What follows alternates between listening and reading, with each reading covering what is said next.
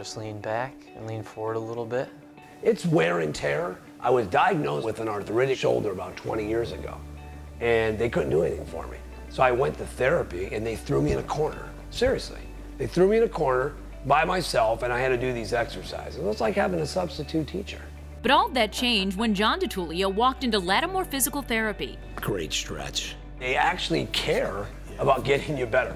That was my first impression. I'm going to get better. DiTullio went from having 15% range of motion to 80%. I started going and I started feeling better, and then my family members started to drop like flies. My wife got hurt, and then my mother in law had back problems. I would notice that when I would do a certain thing, um, I would always get pain in my leg.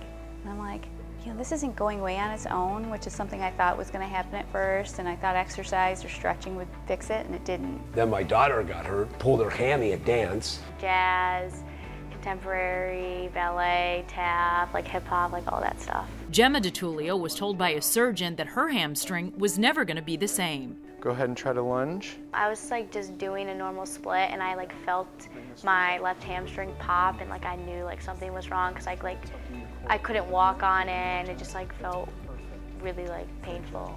And when he said, you know, I can't do anything for her, I thought, she's too young to not do anything and I don't want her to have permanent damage.